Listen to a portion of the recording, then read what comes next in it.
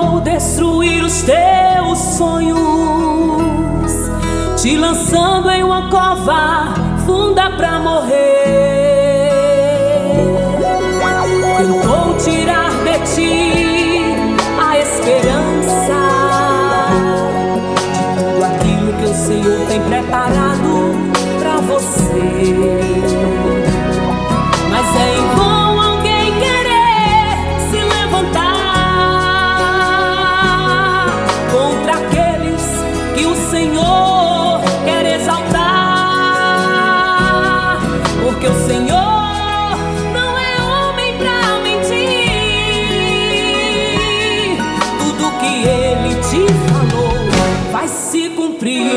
Se cumprir.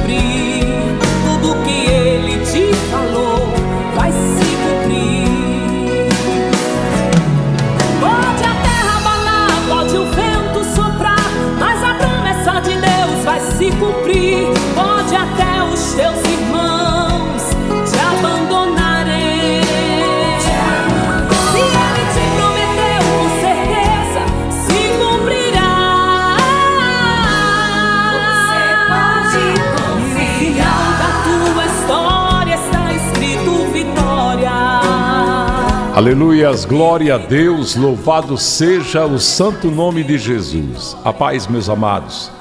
Deus abençoe a sua vida, Deus abençoe a sua família, a sua casa. Estamos aqui em mais uma mensagem, uma oração da manhã para a sua vida. Deus lhe abençoe, a paz do Senhor. Inscreva-se aqui no canal, deixe aqui nos comentários o seu pedido de oração. Pastora Jossanete, a paz do Senhor. A paz do Senhor, pastor, a paz do Senhor, família, pão da vida, bom dia, bom dia.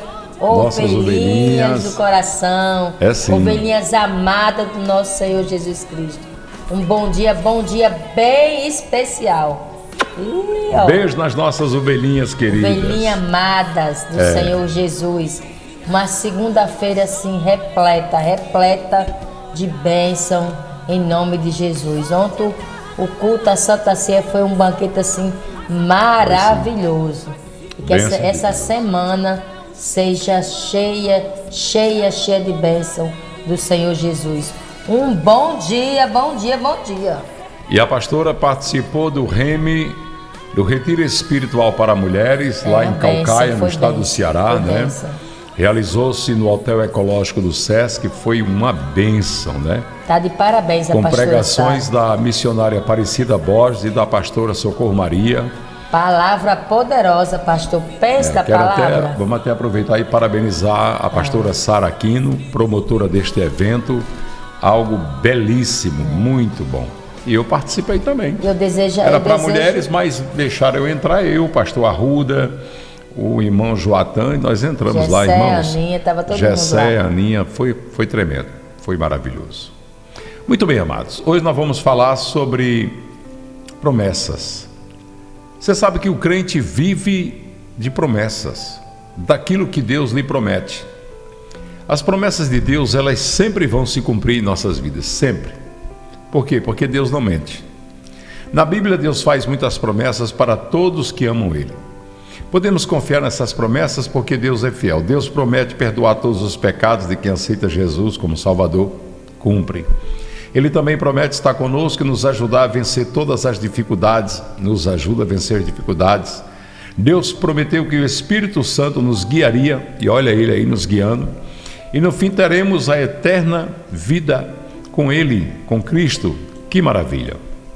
Mas, além disso, nós temos promessas diversas em nossas vidas.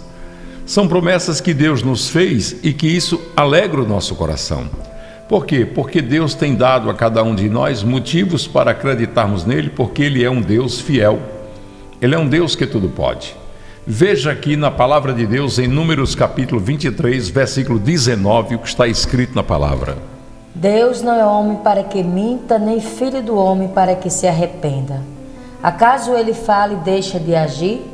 Acaso promete e deixa de cumprir? Está vendo? Por Aleluia. acaso Deus vai falar e deixar de agir? Ele vai prometer e não vai cumprir? Não, por quê? Porque Deus não pode negar a si mesmo, diz a palavra. O que Deus promete, Deus cumpre. Glórias a Deus. E além de tudo isso, nós temos a promessa de Deus da salvação. Aqui no Josué, capítulo 21, versículo 45, veja o que Josué disse para o povo de Israel. De todas as boas promessas do Senhor, a nação de Israel, nenhuma delas falhou, todas se cumpriram. E aí o que é que eu preciso fazer? Me apegar às promessas do Senhor. Eu não posso deixar de crer e tomar posse das promessas. Hebreus 10, 23. Apegue-nos com firmeza a esperança que professamos, pois aquele que prometeu é fiel. E talvez essa mensagem Aleluia. agora ela vá de encontro a pessoas que estão passando dificuldades, estão enfrentando lutas, mas que têm promessas. Nós podemos ver, por exemplo, na história do rei Davi, na história do rei Davi, nós podemos ver Davi sendo ungido por Samuel e após isso passar 17 anos no sofrimento fugindo, se escondendo. Havia um exército inteiro atrás dele e aquele exército, está fazendo barulho, amor. aquele exército estava perseguindo ele. A função daquele exército era tentar matar Davi. Mas o que foi que aconteceu? Aconteceu que Davi se apegou à promessa. Foi formado um exército para Davi, Deus formou um exército, a palavra diz de homens atribulados, homens mercenários. E Davi pegou aqueles homens e ficou nas fronteiras de Israel defendendo Israel dos inimigos de Israel, mesmo perseguido pelo rei Saul e seu exército, Davi defendia Israel. Sabe por que, ele defendia? Porque ele sabia que tinha promessa. Ele acreditava, porque ele conhecia Deus, ele sabia que Deus cumpriria. Davi sabia que quem derrotou Golias não foi Davi, foi Deus. Ele disse para o Golias: Eu vou a ti em nome do Senhor dos Exércitos, o Deus vivo de Israel. Então Davi conhecia Deus. Então Davi disse: Eu vou ficar dentro de Israel. Davi podia ter fugido, ter ido para qualquer terra estranha, mas ele não foi. Mesmo perseguido, mesmo sofrendo, mesmo pagando um preço muito alto, Davi ficou nas terras de Israel. Sabe por quê? Porque quem tem promessa toma posse. E hoje, nessa mensagem aqui, eu estou dizendo para você: tome posse da sua promessa. Quem vai viver a sua promessa é você. Deus não prometeu, não foi para você, então ninguém vai viver essa promessa. Eles podem até participar da sua promessa, eles podem até ser beneficiados, ser ajudado pela promessa de Deus na sua vida, mas quem tem que viver a promessa é você. Deus, quando ele faz uma promessa, é para você. Davi recebeu a promessa que seria rei, foi ungido por Samuel e ele viveu todo aquele sofrimento, viveu sozinho, amargurado, depois que se juntaram aqueles homens com ele, formou aquele pequeno exército, mas ele viveu a promessa. Viveu como defendendo as terras de Israel. Ele já estava dizendo assim: Eu já estou defendendo o que Deus vai me dar. Porque quem me prometeu é fiel para cumprir. Deus não prometeu? Então ele vai me dar. Então, já que eu tenho essa promessa, eu vou defendê-la com unhas e dentes. E foi o que ele fez. Defendeu Israel, reinou por mais um tempo em Hebron, começou aquele momento ali reinando num lugar difícil, porque ali havia os gigantes anequins, ele derrotou eles, assumiu ali o Hebron e depois foi assumiu todo Israel. Ou seja, Davi sabia que havia estágios. A promessa ela tem estágios. Quais são os estágios? São estágios de preparação de Deus para que você viva a promessa. Vem as lutas, vem as dificuldades, e você vai se preparando, vai se fortalecendo, vai recebendo de Deus para poder receber o cumprimento da promessa. Deus não vai dar, não vai dar nada para ninguém sem que ninguém tenha realmente merecimento, não. Olha o que foi que Josué falou no livro de Josué 23,14. Agora estou. Peraí, deixa eu abrir, vá. Agora estou prestes a ir pelo caminho de toda a terra. Vocês sabem, lá no fundo do coração e da alma, que nenhuma das boas promessas que o Senhor, o seu Deus, fez, fez deixou de cumprir-se, todas se cumprirão, nenhuma delas falhou. Todas se cumpriram. Ele está dizendo que todas as promessas que Deus fez já Aleluia. haviam se cumprido. Deus tem essa finalidade. Eu prometo, eu cumpro. Por quê? Porque eu sou fiel. Deus diz: Eu sou fiel, não posso negar a mim mesmo. Aquilo que eu prometo, eu darei. Então, hoje, nessa, nessa oração da manhã, nós precisamos realmente ter a direção de Deus para acreditarmos naquilo que Deus prometeu. Você veja bem que o apóstolo Paulo, por exemplo, ele foi um exemplo. Paulo disse: Eu aprendi a viver com fome, aprendi a viver na, na, na bonança, eu sei viver de todo jeito. E aqui em Filipenses 4,19, olha o que é que ele diz aqui? O meu Deus suprirá todas as necessidades de vocês, de acordo com as suas gloriosas riquezas em Cristo Jesus. Paulo, que era um homem que estava dizendo que vivia na luta, mas ele vai dizer: Deus suprirá todas, todas as, necessidades, necessidades de acordo com as suas gloriosas riquezas em Cristo Jesus. Ele está dizendo: Deus que cuida de mim vai cuidar de vocês. Ele sabia que, mesmo na escassez, Deus estava cuidando dele. Porque às vezes você está passando uma luta, e essa luta é uma luta de faltar as coisas, e você não está entendendo, mas Deus está cuidando. Mesmo assim, no pouco Deus está cuidando.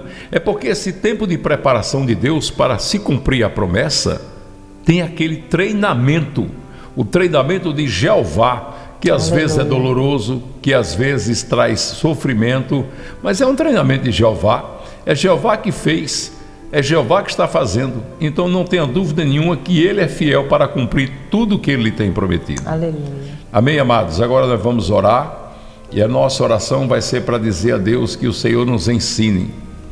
Pai, nos ensina. Nos ensina a esperar as tuas promessas. Nos ensina a viver as tuas promessas. Nos dá direção, Senhor, no teu Santo Espírito. Sê conosco, meu Pai, na caminhada desta vida. Abençoa teus filhinhos, tuas filhinhas. Senhor, eu sei que muitos estão debaixo é, da promessa, mas estão em sofrimento. Muitos estão dizendo: será que eu conseguirei esperar o cumprimento dessa promessa? Alguns estão pensando até, Pai, que morrem antes da promessa se cumprir. Mas a tua palavra diz que não que aqueles que vivem na tua presença não morrerão antes que a promessa se cumpra. Então, Deus, o nosso pedido é para que a tua mão poderosa, cheia de poder, Sim. seja estendida sobre a vida de cada irmão e cada irmã que está conosco. Oh, Paizinho querido, Deus amado, abençoa teus filhos, Deus, guarda, Deus. Senhor, não deixa ir para a esquerda nem para a direita, que mantenha o foco em direção a ti, sabendo que tu és Deus fiel eu peço, Deus, que sejam curados todos que estão aqui, meu Pai, todos que participam desta, desta igreja Pão da Vida, desse ministério do amor, Sim, que sejam curados, Deus, curados no físico, na alma, que recebam, Deus, renovação espiritual sim, sim. para caminhar com o Senhor e que possam, Deus, ter a certeza que o Senhor é Deus que cuida. É, pai, cuida dos teus filhinhos, Pai, das tuas filhinhas. Abençoa, Pai, da energia, da coragem, da fé, porque a tua palavra diz pai. que todos que te amam renovarão suas forças. Renova, Pai, as forças do teu povo. Enche de alegria esses corações. Paizinho, nós pedimos a tua bênção para os dizimistas, para os ofertantes desta obra, que sejam cheios da tua santa presença. Sim, Ilumina, guarda, protege, em nome de Jesus Cristo. É o que nós pedimos, meu Deus, e agradecemos no santo e poderoso nome do teu filho amado Jesus, porque tudo, Pai, Aleluia. é para a glória do Senhor Jesus. Amém. Amém, amém. amados queridos, Deus abençoe.